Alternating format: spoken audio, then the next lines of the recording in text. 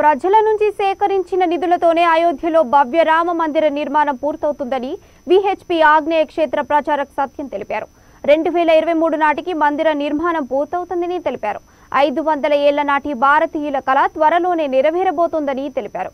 వేల కోట్ల రూపాయలతో అయోధ్యలో రామ మందిరం నిర్మితమవుతోందని మందిర నిర్మాణానికి సహకరించిన వారందరికీ ధన్యవాదాలు తెలిపేందుకు ఈ నెల ఇరవై తొమ్మిది నుంచి కృతజ్ఞత యాత్ర నిర్వహించనున్నట్లు తెలిపారు. ఆశ్రమంలో ప్రారంభించబడింది.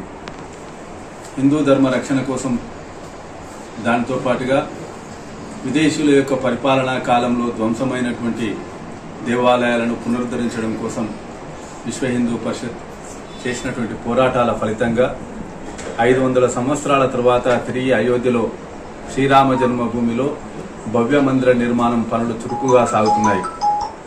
మందిర నిర్మాణం కోసం ఆ సాందీపని ఆశ్రమంలో ప్రారంభించబడింది.